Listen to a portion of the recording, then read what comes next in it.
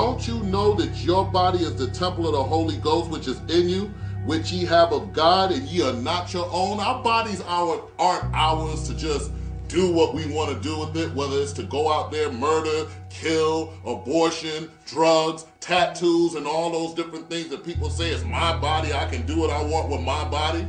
It's not yours.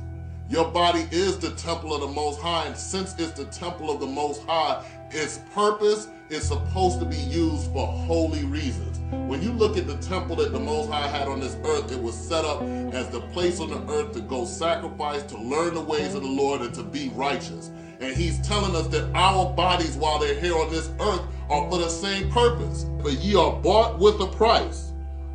Therefore, glorify God in your body and in your spirit, which are God's. Everything that the Lord makes has a certain purpose. For the plants, their purposes were and, and are our food and our medicine. No one's up here saying that marijuana is evil. No one says saying that the coca plant is evil. No one's saying that the poppy plant is evil. We're not. What we're saying is these things have a particular use and a particular purpose. And that purpose has to be adhered to according to the Most High's word and his commandments. But what we as a people do, we take things out of their natural order and out of their natural use, and then they become evil unto us.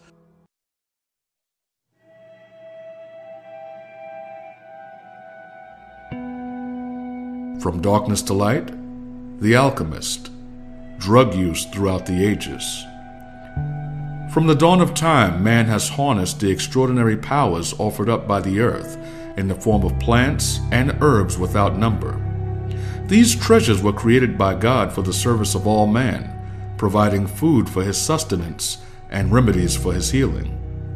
Through a proper and balanced use of these plants and herbs, the physician was able to produce medicines, antidotes, and poultices that took away pain, cured diseases, and prolonged life.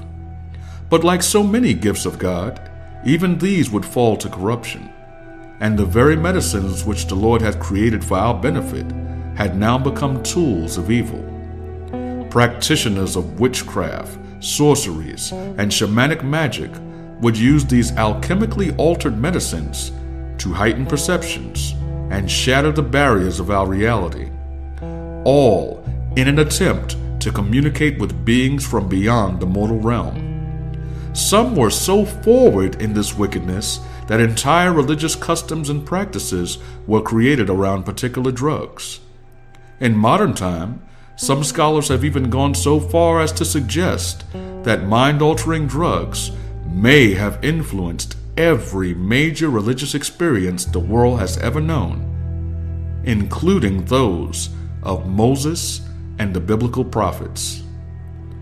Join us today for another installment of From Darkness to Light as we give new meaning to the war on drugs by exposing the historical and present day misuse of the Heavenly Father's great medicines of the earth.